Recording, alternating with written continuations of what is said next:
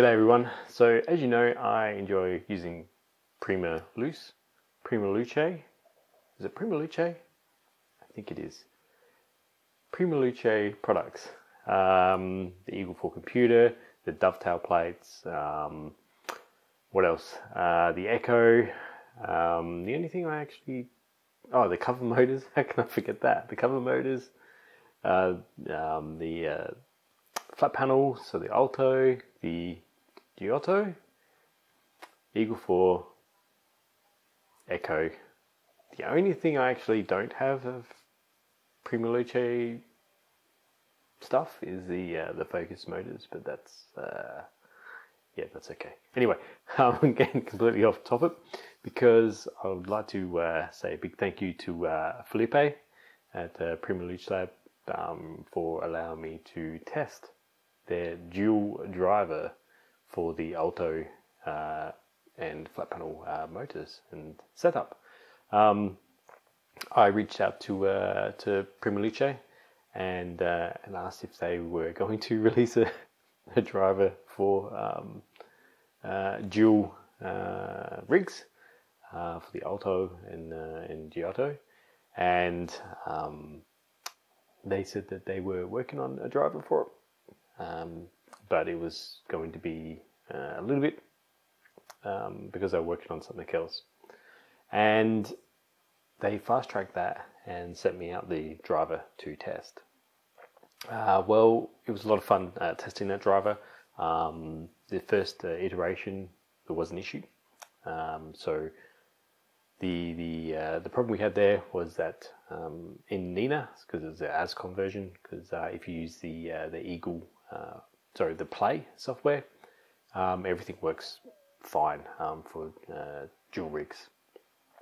Um, so the the ASCOM driver um, is what I'm referring to here, and because I like to use Nina, um, that's uh, that's why.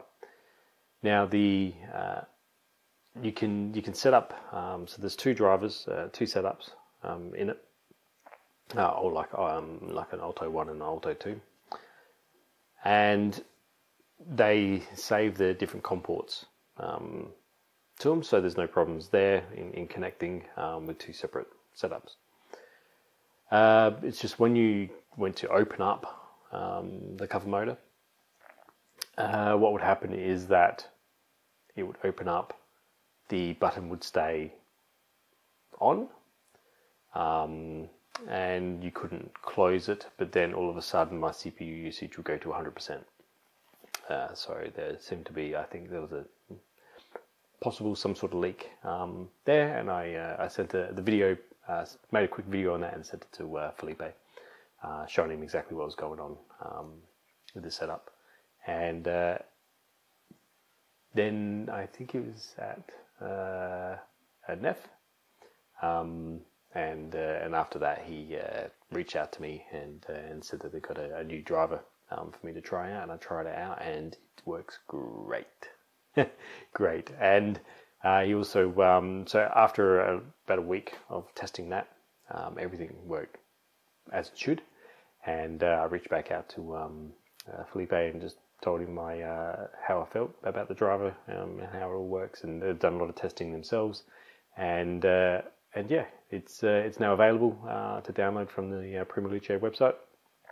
Um, so if you have a dual imaging rig and you want to set up dual altos and giottos, if that's how you pronounce it, my Italian is not very good, sorry, um, but I'm trying, and uh, and you want to automate that whole session, um, then you can you can do it now.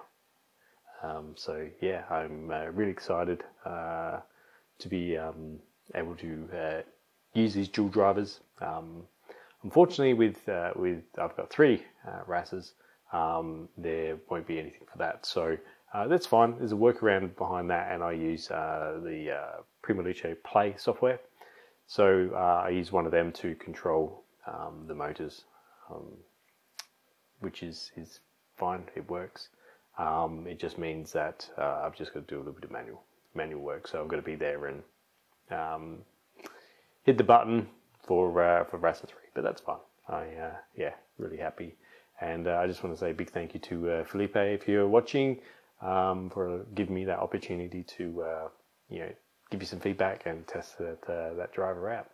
And uh, for everyone else, uh, enjoy your dual rig uh, Prima Luce Alto Giotto flat frames um, imaging sessions if you use uh, Ascom, Ascom driver and Nina.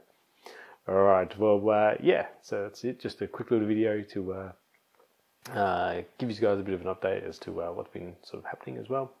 And um, yeah, speak to you soon. Cheers.